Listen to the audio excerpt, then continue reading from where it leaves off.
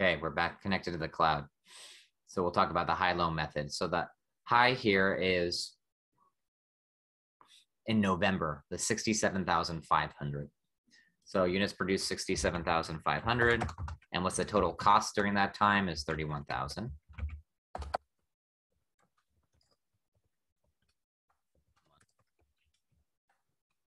Classification. And then low activity.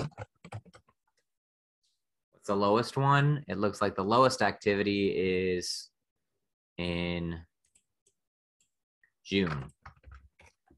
In June, we had 17,500 at 18,500.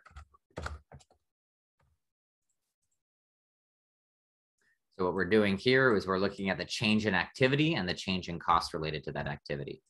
So change in activity.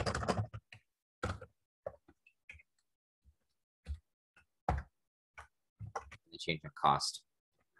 And then we can take that and divide it in order to get the cost per unit. Cost per unit. And so we have it 25 cents cost per unit.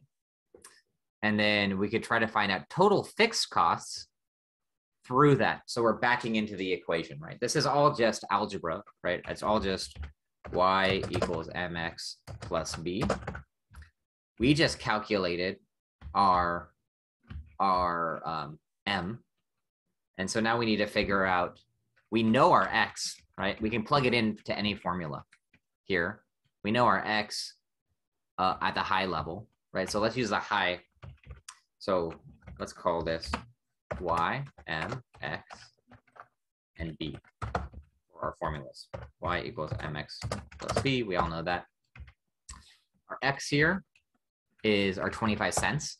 We calculated that just now by using the high and low, right? We took the difference between the high and low activity from units produced and total costs, and then divided them into each other in order to figure out that we're about 25 cents per unit. We also know that uh, we're trying to solve for fixed costs. So we're solving for B. Um, we know our M of this is 67,500. And we know our total costs at this point are 31,000. Right, so we're solving for B. So what is B here? Y equals mx plus B. We take this times this 67,800 and we can then take the 31,000 minus this.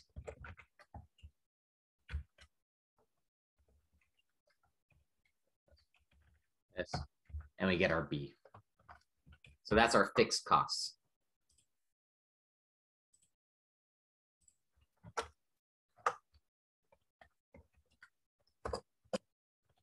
Cost. This is our variable cost. This is total cost.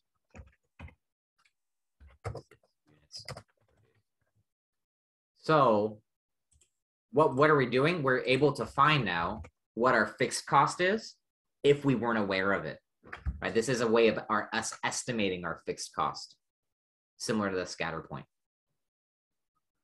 chart. So instead of the scatter diagram where we're just taking different points and then drawing a line in between, which is essentially what a regression analysis does, which we'll get into. We're actually taking the data and we're estimating given the data. So a good question here might be, hey, why don't we know our fixed costs? Well, a lot of times when we're doing analysis, we don't know what happened at the beginning.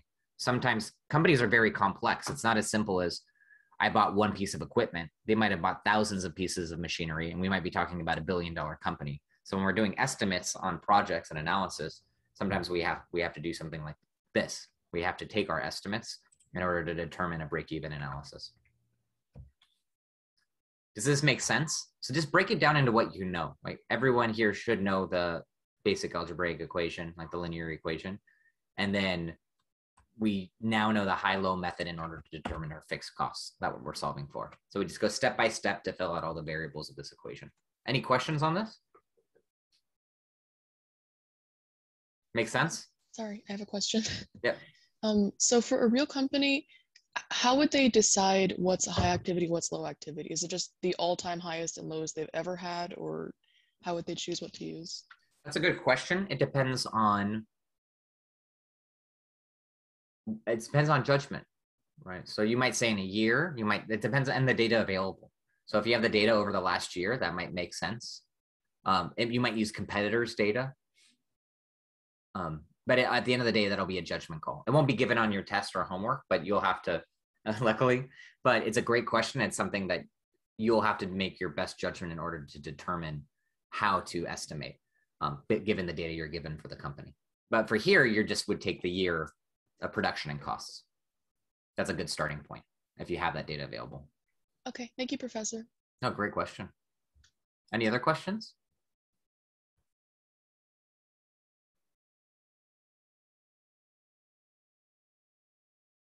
Okay, we'll keep going.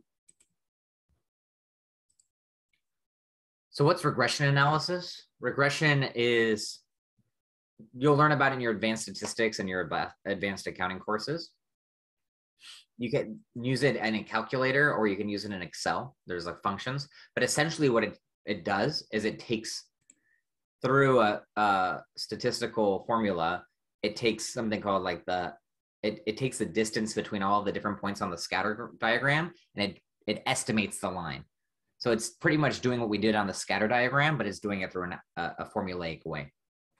Um, you're not going to have to know exactly how to do a regression here. Just know it exists, and you're going to hear about it a lot. When you hear people talking about correlation and regression, that's used in most research. So you're I, you're really going to have to learn about this in statistics, and once you do learn about it, make sure you master it and it's going to be the same the same objective though. We're just trying to find total fixed cost and variable costs. And so the regression analysis is always going to be more accurate. So i'm not going to make you do a regression analysis but in this case if we were to to a regression of the data given then it would be more accurate. And you could see how, by how much more. It turns out our actual fixed cost is 16688 and the variable costs are actually 20%, 20 cents per unit based on the regression analysis.